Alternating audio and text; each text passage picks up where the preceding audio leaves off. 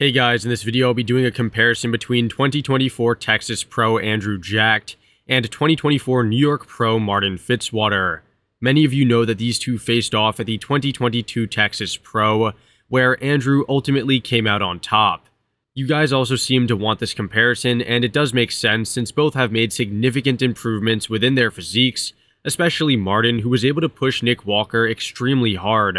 With the Olympia fast approaching, I want to know who do you think has more potential to place highly? Personally, I think Andrew will beat Martin at the Olympia, however, you really never know. The front double is going to be an easy win for Andrew right away. This is because he's not losing to Martin anywhere, beats him in a very dominant manner in the areas that he wins, and he has so much size and shapeliness. Now, both present comparable conditioning, however, Martin has deeper cuts in the quads, whereas Andrew shows more detail in the arms and in the midsection. In my opinion, the only area that is close between the two are the quads, since Martin has some ridiculously large tree trunk legs, rivaling Andrew in size and having even more defined separation. That said, Andrew's structural advantages, fuller muscle bellies upstairs. That said, Andrew's structural advantages, fuller muscle bellies upstairs, and more impressive X frame all draw my attention to a larger degree than Martin does. I am a huge fan of Martin, however, he really needs peakier biceps and more upper body separation to even come close to Andrew in this pose. The front lat spread is a similar story since I believe that Andrew has the best front lat spread currently. His lats are twice as bulbous and developed compared to Martin, and he also poses more effectively in comparison. Martin could benefit from a higher hand placement which would accentuate his perceived shoulder width and reveal more of the lats. Now, he does have great lats, delts, and quads, along with a nice midsection. However, he doesn't have anything that stands out. In contrast, Andrew is fully striated across the chest while simultaneously having fullness for days, a picture-perfect midsection with symmetrical ab separation and insertions, and massive arms and legs. Both have great proportions and symmetry along with zero muscular flaws.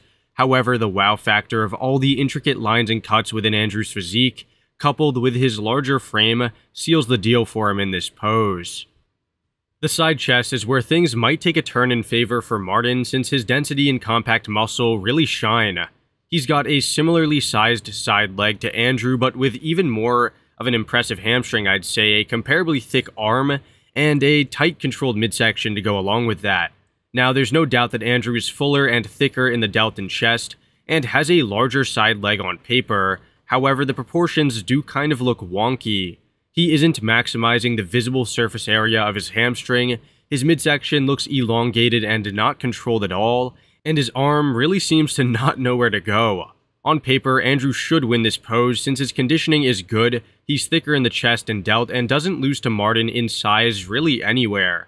In reality, though, Martin's ideal posing highlights the strong points in his physique, such as the great side leg and tight midsection, and his grainy conditioning draws attention away from his lack of fullness in the chest. While he may be smaller and lighter, his dense grainy muscle and great execution of the pose impress me a lot, so I would give him the pose. The rear double is definitely an apples versus oranges type of pose since these two present wildly different physiques.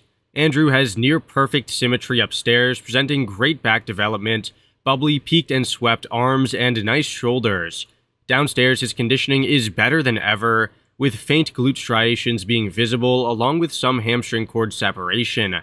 Then you look at Martin who smokes Andrew downstairs in the glutes and the hamstrings when it comes to condition, and clearly has thinner skin in the back. He isn't the most separated in the delts or the arms, however, his back has a 3D effect that really pops out at you. I'm a huge fan of his shredded lower half, and I would definitely give him the win down there, However, I don't really think that his back is beating Andrew's. He certainly has a top tier back, however, Andrew has added considerable thickness and width, and has phenomenal biceps and triceps to match. I would say that this is an upper versus lower body battle, with my eyes shifting towards Andrew for the overall win. While he's not as conditioned downstairs, he looks good enough in that area, and his upper body is great. Then again, Martin has a case for winning when it comes to the objective criteria, since his conditioning is far ahead of Andrew and his upper body is extremely thick and dense. The rear lat spread is much closer than the last pose since Andrew doesn't have his amazing arms to help. In this pose, Andrew's lower body conditioning is once again exposed by Martin's ripped separation, and his back doesn't have the same density and thickness that it did in the previous pose. Now, he still looks good, especially in the wide lats, however, he's not as impressive as in the rear double. Now, Martin definitely hit a better rear lat spread in the past, however, he does look good regardless. That 3D look isn't as evident as in the last pose, however, he looks incredibly thick and dense in the traps and in the lower back. His width relative to his frame is also stellar, and like I've said many times, his lower body is crushing Andrews in terms of conditioning, and he even keeps up in size as well.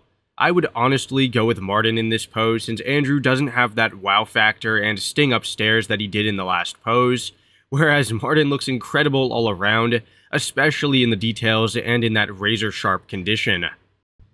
The side tricep is a similar story to the side chest since it really pains me to see Andrew incorrectly posing in this shot. While I think he angles his side leg a bit better, his arm positioning and lack of extreme midsection control hurt him. When you're kind of known for an incredible midsection and bubbly full arm, any mistake in posing them will really draw negative attention to these high traffic areas. I'm not saying that he's got any distension or a bad arm by any means, however, I know that the midsection could be razor sharp and tight, and his arm could be parallel with his body and locked out completely, to maximize its thickness. In comparison, Martin poses optimally and takes advantage of his strong points. He's got a really thick, genetically gifted tricep, a controlled detailed midsection, and a nice trailing calf that adds an artistic touch to a mandatory pose. He's clearly losing in the chest, delt, and total arm size to Andrew, however his superior posing brings everything into perfect proportion and balance. Now he could showcase more width in the side leg by pressing it harder, However, all in all, my attention gravitates towards Martin. I really can't reward Andrew considering all the posing flaws, however, that is my personal opinion. The ab and thigh is an easy win for Andrew, as are most frontal poses. Just to look at the immense width upstairs and how it tapers into a tiny waist and very symmetrical midsection. He's got ideal genetic geometry in the abs, wide flared lats, and nice quads that bow back out to create a phenomenal X frame. His conditioning from the front is also extraordinary, which ties everything together. With all that praise, you would think that there is no way for Martin to compete, however, that's not entirely true. Martin is really underrated in this pose since he has all the tools to create a world-class ab and thigh, and definitely does. Now, he's not going to be an Andrew Jacked in this shot, however, he does have tremendous quads with great detail, bubbly abs and shredded obliques, and good width to create a very impressive V-taper. His only real flaw would be the somewhat wide ab split, however, it doesn't seem to be a problem in this comparison. The only real problem for him is that he's going up against one of the best ab and thighs in the history of bodybuilding, which isn't his fault. Definitely a win for Andrew in my book, however, Martin shouldn't be slept on in this pose. The most muscular is the last pose, and this is actually the closest pose of the comparison. This is definitely a true apples versus oranges shot since both are great and could easily make a case for winning. Andrew has that wide, tall frame that inherently will draw more stage presence, along with full round muscle bellies and great condition. Every part of his physique flows well and has a great wow factor, however he could use thicker forearms to really complete the shot.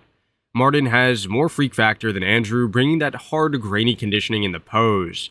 I like how his chest seamlessly integrates into his delts, how the arms appear full and shredded, and how the quads are so full, yet simultaneously deeply separated. There are really no bad things to say about either in this shot, so take your pick in the comments below. If you give this to Martin, then the comparison would be a tie. However, if you give it to Andrew, it would be a 5-3 win for him. Anyways, let me know in the comments down below who you had winning this comparison, if you enjoyed, a like and sub would be awesome, and I'll see you all in the next one. Thanks for watching.